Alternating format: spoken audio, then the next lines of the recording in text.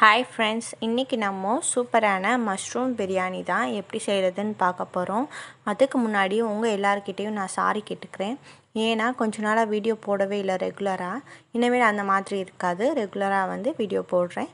அதுக்கப்புறம் வந்துட்டு கொஞ்சம் ஒர்க் இருந்துச்சு பர்சனலாக அதனால தான் வந்து என்னால் டெய்லி வந்து வீடியோ போட முடியல. அதுக்காக ரொம்பவே சாரி இப்போ வாங்க வீடியோக்குள்ளே போகலாம் பிரியாணி செய்கிறதுக்கு ஃபஸ்ட்டு வந்து நம்ம ஒரு பேஸ்ட் ரெடி பண்ணிக்கணும். அதுக்கு நான் வந்து இங்கே மூணு பல் பெரிய பல் பூண்டும் ஒரு விரல் அளவுக்கு இஞ்சியும் அப்புறம் நாலஞ்சு சின்ன வெங்காயமும் எடுத்திருக்கேன். அதை நான் இப்போ வந்து ஜாருக்கு மாற்றிட்டேன் அதுக்கப்புறம் அதில் வந்துட்டு கொஞ்சமாக ஒரு ஒரு டீஸ்பூன் அளவுக்கு கசகசா சேர்த்துருக்கேன். அதுக்கப்புறம் வந்துட்டு சோம்பு அதுவும் ஒரு டீஸ்பூன் அளவுக்கு சேர்த்துருக்கேன். இது எல்லாத்தையும் சேர்த்து நல்லா அரைச்சிருவோம். இப்போ இது எல்லாம் ஒன்றா சேர்ந்து நல்லா அரைஞ்சிருச்சு. ஒரு நல்லா பேஸ்ட் ஆகிடுச்சு இதை வந்து நம்ம தனியாக ஒரு பக்கம் வந்து எடுத்து வச்சுருவோம். இது இப்போதைக்கு தேவைப்படாது. அப்புறம் இங்கே ஒரு ப்ரெஷர் பேன் வச்சுட்டு அது சூடானதும் அதில் ரெண்டு டேபிள் ஸ்பூன் எண்ணெய் விட்டுட்டு ரெண்டு துண்டு பட்டை ரெண்டு துண்டு மூணு துண்டு கிராம்பு ரெண்டே ரெண்டு ஏலக்காய் அப்புறம் ஒரு பிரியாணி இலை. இதெல்லாம் போட்டு லைட்டாக பொரிய விட்டுக்கோங்க. லைட்டாக பொரிஞ்சால் போதும். ரொம்ப பொரியணுங்கிற அவசியம் இல்லை. இது வந்து லைட்டாக அந்த வாடை வர அளவுக்கு இது எல்லாமே பொரியணும். இங்கே வந்து நான் அதுக்கப்புறம் பெரிய வெங்காயம் வந்து ரெண்டு பெரிய வெங்காயம் ஒரே ஒரு தக்காளி அப்புறம் வந்து ஒரே ஒரு பச்சை மிளகா வந்து கட் பண்ணி வச்சுருக்கேன். பச்சை மிளகா உங்களுக்கு காரத்துக்கு எவ்வளோ தேவையோ அவ்வளோ எடுத்துக்கோங்க. இப்போ வந்து நம்ம கட் பண்ணி வச்சுருக்க வெங்காயத்தை மட்டும் இதில் வந்து சேர்த்துக்க போகிறோம் இது நல்லா இப்போ பொரிஞ்சிடுச்சு பார்த்தீங்களா இதில் வந்து ஃபஸ்ட்டு வெங்காயம் வந்து சேர்த்துக்குவோம்.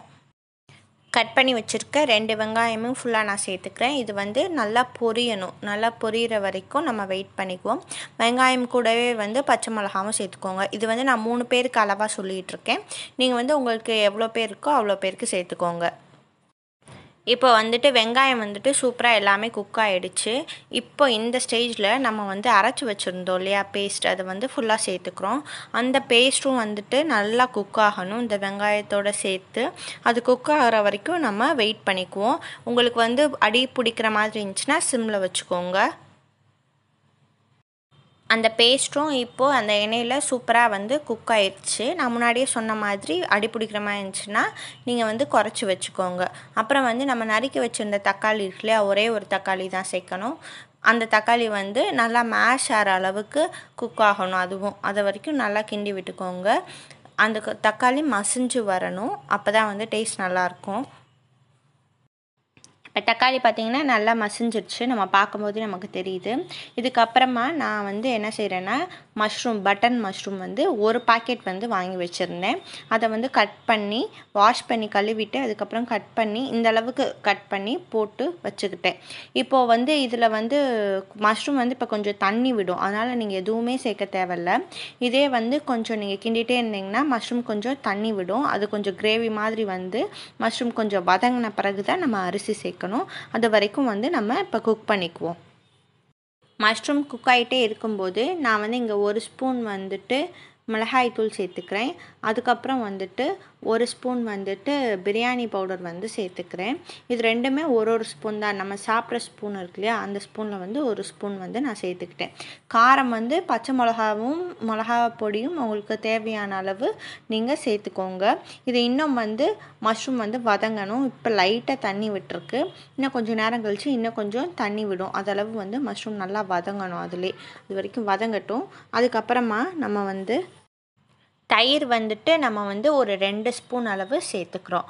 ரெண்டு ஸ்பூன் அளவு தயிர் சேர்த்துட்டு சா நார்மல் ஸ்பூன் தான் நம்ம சாப்பிட்ற ஸ்பூன் தான். அந்த அளவு தயிர் சேர்த்துட்டு இதை நல்லா மிக்ஸ் பண்ணி விட்டுக்கிறோம். இப்போ உங்களுக்கு இதை பார்த்தாலே தெரியும் கொஞ்சம் கிரேவியாக தான் இருக்கும். அந்த மஷ்ரூமில் இருக்க தண்ணி தான் அந்தளவு கிரேவியாக இருக்குது இதுக்கப்புறமா வந்துட்டு நம்ம ஒரு கை அளவு புதினா புதினா வந்து ஒரு கை அளவு வந்து சேர்த்துக்கோங்க.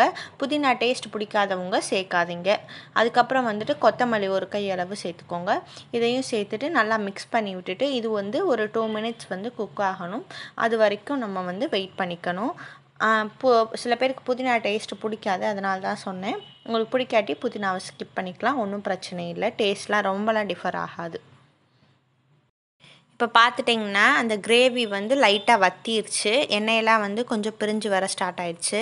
இதுக்கப்புறமா அரிசி வந்து சேர்க்க போகிறோம் அதுக்கு வந்து நான் நார்மல் நம்ம சாப்பாட்டு அரிசியை வாஷ் பண்ணிவிட்டு ஒரு இருபது நிமிஷம் வந்து ஊற வச்சு எடுத்து வச்சுருக்கேன். நீங்கள் பாஸ்மதி ரைஸ் வேணும்னா அதுலேயும் கூட செஞ்சுக்கலாம் இதே மெத்தடில் அந்த அரிசி ஃபுல்லாக வந்து நான் ப்ரெஷர் பேனில் போட்டுட்டு அந்த மசாலா கூட இந்த அரிசி ஃபுல்லாக வந்து மிக்ஸ் ஆகணும். இந்த மாதிரி வந்து நல்லா நீங்கள் கரண்டி வச்சுட்டு அந்த மசாலாவையும் அரிசியும் நல்லா மிக்ஸ் பண்ணி விட்டுக்கோங்க. அப்போ தான் வந்து டேஸ்ட்டாக இருக்கும். அதுக்காக தான் நல்லா மிக்ஸ் பண்ணி விட்டுட்டு. அப்புறம் இங்கே வந்து நான் தண்ணி சேர்க்குறதுக்கு வந்துட்டு ஒரு டம்ளர் அரிசிக்கு ரெண்டு டம்ளர் தண்ணி ஊற்றி சுட வச்சு வச்சுருக்கேன். கொதிக்க வச்சு வைக்கல. சுட வச்சு வச்ச தண்ணியை எடுத்து இப்போ நம்ம அதில் வந்து சேர்த்துக்க போகிறோம் அரிசி கூட.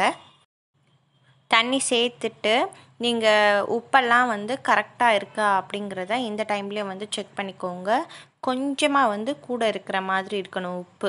அப்போ தான் வந்துட்டு டேஸ்ட்டு கரெக்டாக இருக்கும். இது வந்து நல்லா கொதிக்க ஸ்டார்ட் பண்ண பிறகு தான் நம்ம வந்து இதை மூடி வைக்கணும். அது வரைக்கும் நம்ம வந்து வெயிட் பண்ணிக்கணும். இப்போ வந்து தண்ணி நல்லா கொதிக்க ஸ்டார்ட் ஆகிடுச்சு ஸ்டார்ட் ஆனதும் நம்ம வந்து மூடி வச்சுக்கலாம். மூடி வச்சுட்டு ஒரு விசில் ஹைலையும் ரெண்டு விசில் வந்து லோலையும் வச்சு எடுத்துட்டிங்கன்னா சூப்பராக வந்துட்டு பிரியாணி ரெடி ஆயிரும். அவ்வளோதான் நான் ஓப்பன் பண்ணிட்டேன். இப்போ பார்த்தீங்கன்னா பிரியாணி சூப் சூப்பராக ரெடி ஆகிடுச்சு ரொம்பவே டேஸ்ட்டாக இருந்துச்சு. நான் சாப்பிட்டு பார்த்துட்டு தான் சொல்கிறேன் இதை வந்து மறக்காமல் நீங்களும் வந்து கண்டிப்பாக செஞ்சு பாருங்கள் ரொம்பவே சூப்பராக இருக்கும். இதே மாதிரி நான் வந்து பன்னீர் பிரியாணியும் பண்ணியிருக்கேன். அது வந்து சேனலில் போட்டிருக்கேன். நீங்கள் பார்க்கலன்னா கீழே டிஸ்கிரிப்ஷனில் கொடுக்குறேன். போய் மறக்காமல் பாருங்கள் அதுக்கப்புறம் இந்த வீடியோ பிடிச்சிருந்துச்சுன்னா லைக் பண்ணிக்கோங்க. இன்னும் சப்ஸ்கிரைப் பண்ணாட்டி மறக்காமல் சப்ஸ்கிரைப் பண்ணிவிட்டு பக்கத்தில் இருக்க பெல் பட்டனையும் கிளிக் பண்ணிக்கோங்க. பாய்